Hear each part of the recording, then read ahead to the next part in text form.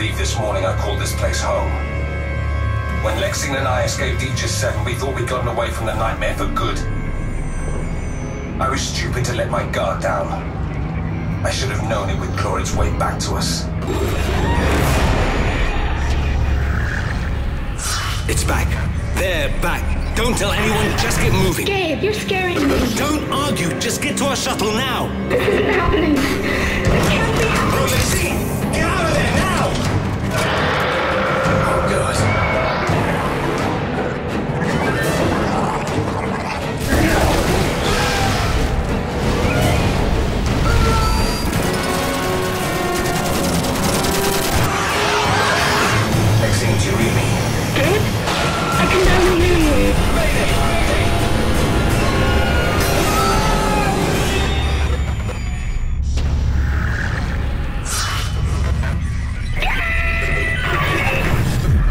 Isaac isn't the only one fighting through the sprawl.